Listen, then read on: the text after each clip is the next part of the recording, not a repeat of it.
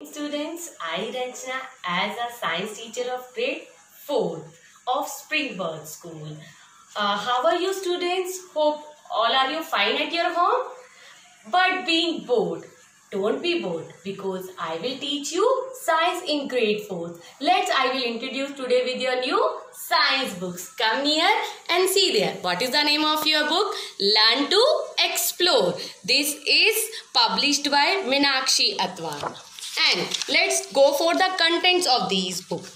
They are there there is five units in the books. If you will see that the first unit related to your plant kingdom. In the first unit today we will read about our first chapter the green plants. What is the name of this chapter? The green plants. Let's come to your first chapter. That is your first chapter the green plants. In this chapter we learn about first of all our leaf the green plants make their own food and the last thing interdependence of the plants and animals. So what we learn on these three in this chapter? First of all we should know the chapter thoroughly. What is the name of the chapter? First lesson 1 the green plants. What is the name of the chapter? The green plants. And today all you know first of all what are plants? In the previous third standard in the environmental studies we have studied our plants and I will give you one revision of that about the plant. In the plant basically many parts are there like if you will see I have drawn for you the flower, bud, fruit, stem, root and leaf. Basically today we will read about our chapter about leaf. So today topic is our leaf. So before going to our today topic, I will ask you some questions. See there, listen carefully. I look very beautiful and may have various colors. I help the plant to make seed. Again I will repeat my question. I look very beautiful and have various colors and I help the plant to make seed. What should be the answer? Flowers. Yes, flowers. I look very beautiful and may have various colors. I help the plant to make seeds. These are your beautiful flowers. Next, I support the plant and absorb water from the soil. I export the plant and absorb the water from the soil. That are your roots. Yes, that are your roots. Next, third question. I keep the plant upright. I keep the plant upright and transport water to the leaves. This is your stem. Next question. I look green and make food for the plant. I am also called the kitchen of the plant. Yeah, this answer is your leaf. So today topic is our leaves. So let's continue with the today topic our leaf. Here I had made a structure of the leaf for you. If you will see carefully, I have drawn a structure of a leaf. You will see many parts a leaf is having. So I will tell you the today the leaf part. First of all the main part of the leaf with which it is attached to the main stem. This part is called petiole. What it is called? Petiole. Then if you will see the broad part of a leaf. If you will see any shape of the leaf, this broad part of a leaf is called leaf blade. What it is called? Leaf blade.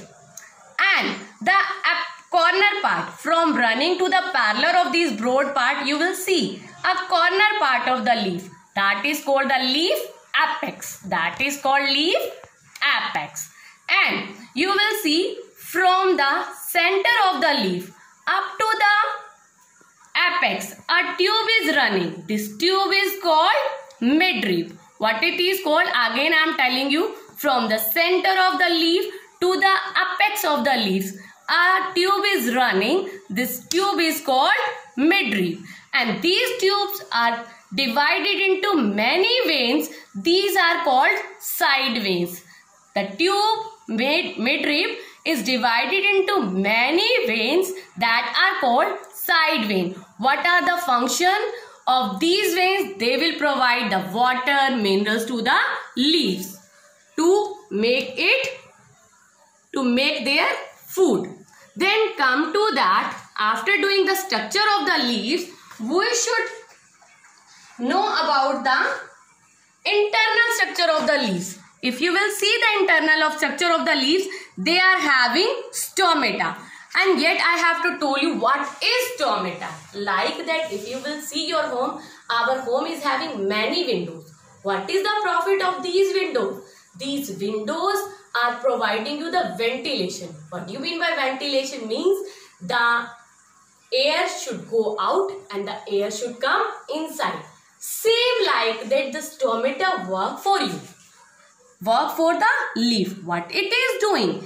It is working as a window for the leaf. It exhale out oxygen, the breathe out air and it will take the carbon dioxide means breathe in the carbon dioxide for doing its function. What is stomata? It is type of a window present under surface of the leaves and having lots of guard cell which is protected by the guard cell. Like that when the air comes inside these guard cells will close like your window. If the good air is coming in the window then we will open the window. And when the air should come inside we will close the window same like that when they need the air this guard cell will open, the air will come inside. And when they had sufficient air inside, the guard cell will become closed. So the main function is the stomata to breathe in, to breathe out. They will breathe in the carbon dioxide and breathe out the oxygen. Then come to this next topic of yours, the shapes of the leaves if you will see according to uh, in your surroundings lots of the leaves are there. According to the shape today we will see the leaves. First we will talk about the different arrangement of leaves. According to the different arrangement if you will see in the plants here i have shown you there one leaf is attached to the main plant. That leaf is called simple leaf. When the leaf is attached single leaf is attached to a main stem that is called simple leaf. But if the many leaves are attached to a single stem in a dividing pathway, so these are called compound leaves. Okay.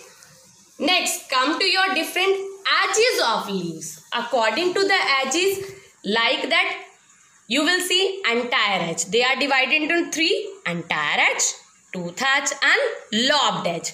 You will see the different entire edge. Okay. Tooth edge. They are having tooth type formation. And if you will see in the lobed edge, there is too much lobes are forming according to the edge basis. The leaves are divided into three. Have you seen? Then come to your next different shapes of the leaves. If you will see carefully, you can able to detect that different shapes of the leaves in different shapes you will see. First shape is your spear shape. What it is? Spear shape. Next you will see the round shape. What is this? The round shape. Next come to your third shape. That is palmately shaped. Palmately lobed shaped. Okay. Next is third one is your palmately lobed shaped.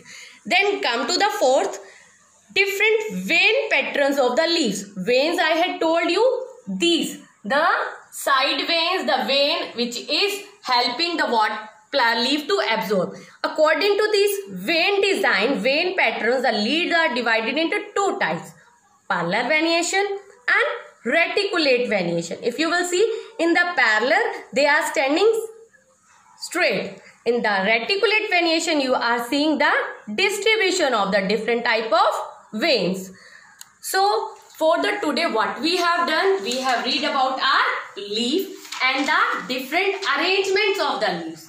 According to this, I am giving you some homework. What you should do in the homework, you will collect the different type of the leaves. Like come here, I had collected two or three which one is near to my surrounding without going out from my home different type of the leaves this way you should collect the leaves and what you should do like a notebook you should take any previous notebook you should take and keep the leaf on the paper on the notebook and try to draw the structure of the leaves. Way like that I have drawn the structure of the leaves. And in the second activity what you should do you should take the impression leaf print on the paper. How you should do this activity I have done by taking a leaf and putting the color on that. You can use if you are not having watercolor you can use your sketch colors. Rub the sketch color on that and then put the stamp of there like that. So you will get a leaf print. So do this activity on today at your home by plucking the leaves two three leaves and try to do this activity in your any rough notebook and within the next chapter within the next topic we should do the photosynthesis. Up to that you should stay at home feel safe. Till then bye bye